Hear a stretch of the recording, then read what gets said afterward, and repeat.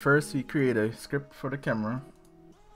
So shorten that to cam. Then we need mouse.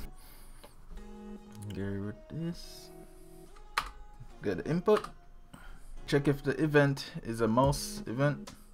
Event mouse. Then we get the position. Set it to be the mouse. Then we check again if the event is a mouse button and event pressed. We say if event mouse button index left if it's a left mouse button and we get selection. So we're gonna create that function. Okay now we say world space state. We say get world get direct space state. World space I mean.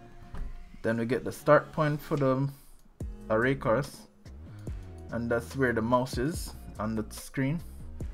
Remember extending the camera so we're getting these functions directly from the camera. If you have the camera somewhere else you need to make a reference. Then the endpoint project the brake position the direct where you want it to go. So it's from where the mouse is again all the way down to Z. That's the end point. Now we say we need a result. So from the world space we create an intersect ray from the start point to the end point. Now we can print result. Let's save and run that. And now like you check down here. If I click on something get a collider static body and stuff like that. So one thing I want to note so this, this first one I named it the collider cube. It's right here. So it starts with a the static body is the main node for that cube. So that's what the raycast interacts with. So for example I have cube 2 here and this is this cube so when I click on it it returns this static body. And then I have the sphere here. Does the same thing. It returns a sphere word. If you click on it. There it is down here. Wait.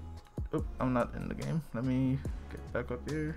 If I click on it collider sphere. It's the name. And then it shows you the type of collision. The ID normal and position. Yeah. So let's do something else. So if I want uh, on the sphere I have a script that says die. So we're just gonna call this from the collision. So let's go back in the camera. And right below this we if result meaning if the result is valid and result collider has method die. That's the die in the sphere then we just call it on the collider so we set it to die. So now let's run it again. If you click it it removes itself. And that should be it.